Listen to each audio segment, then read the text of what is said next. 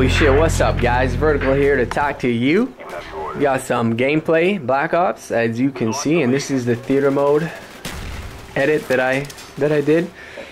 Losing my voice. Not a good combination for commentary. So anyways, go check that video out if you haven't seen it. Called it uh, Napalm the Cold. What did I call it? Yeah, Napalm the Cold. Does that make sense even? What was I thinking? What the fuck? am I on drugs, man. Speaking of drugs, um, so I have a confession to make, and no, I'm not a crack addict. That's not the confession. I'm not fucking addicted to drugs. I, I have never seen Scarface, right? And you know, I watch a lot of movies. Um, I consider myself to watch a lot of the good movies, and it came on TV the other day. It came on the channel that doesn't have advertisements, the one channel on my TV that doesn't have advertisements, and uh, I hate TV. So I don't watch a lot of TV, but my uh, my girlfriend won't let me get rid of it. Blah blah blah. Off topic. So, anyways, it comes on TV. I start watching it. Holy shit! I'm loving this movie. Okay, man. I'm fucking loving it. I can't do the accent so good, man. But you know, it, it's all right. You get the point. So.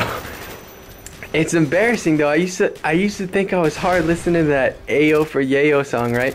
And I'm watching this movie and I see the line that's at the start of the start of the song and I'm like, you know, the okay, you got some for me, man. It's like okay, you got some. Anyways, you know when when he's asking for some coke, right?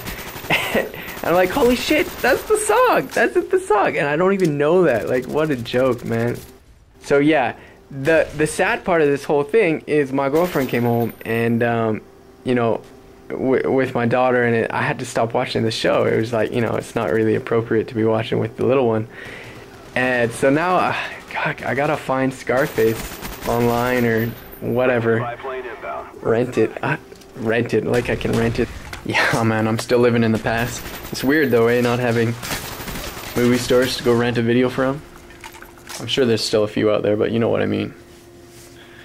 So, Black Ops 2, baby coming out real soon, and I'm holding out. I actually haven't played video games for I don't know at least a week since I since I got this gameplay, probably the last time, and holding out. You know, making gonna make it real good when it comes out. It's gonna be awesome.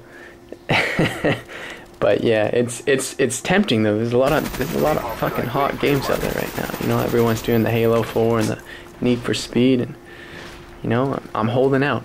It's gonna be good. Anyways, so my yeah, my girlfriend, she's scared. I'm sure I'm sure there's lots of girlfriends that are scared out there. But I took a week off work.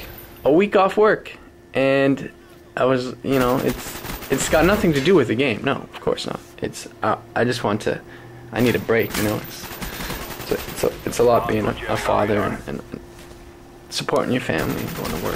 It's got nothing to do with the game coming out. Come on.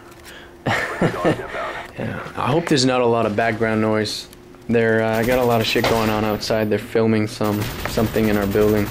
I don't know what it is. I don't know what show it is. Usually it's the fringe that shows up here. Um, but uh, I guess our building passes for a New York building. Cheaper to film in Vancouver, but yeah, I don't think it's the fringe. My my girlfriend uh, auditioned for whatever it was, and Way to rub it in her face, hey? Poor girl, she doesn't get the part, and then they, they film the show in our in our fucking building. Sorry to make fun. If you're watching this, Kyla, I, I love you. Sorry to make fun. but yeah, speaking of speaking of films, celebrities, um, it's funny. I always make fun of myself for bringing this up to the guys at work, but I'm standing in the lineup the other day, uh, buying my lunch, and right in front of me is John Locke from Lost. I'm like, holy shit, it's John Locke. I just finished watching the whole show on Netflix, you know, not too long ago. and I, you know, I talked to him. I'm like, hey, you know, you were you were really great in Lost. Blah blah blah blah blah. it's funny because I I was sort of like, should I keep talking to him? And I didn't say anything. It was sort of like an awkward silence towards the end of the. Uh, this experience of waiting in the lineup and uh, but yeah it was it was great to meet him and, and talk to him briefly. and anyways, John fucking lost, okay? Or John Locke. I can't even fucking say his name. I looked him up after. It's Terry Terry Quinn or O Quinn. Changed his name. Anyways, greatest moment of my life actually. What am I talking about? Greatest moment of my life. Meeting John Locke. So yeah, let's wrap this up. Um, I don't finish the gameplay. It's just me trying to find people. This guy finally kills me. And uh, this is Ghost Bitch getting the last kill. Wet his pants with blood. What the fuck is that? Anyways, guys. Peace.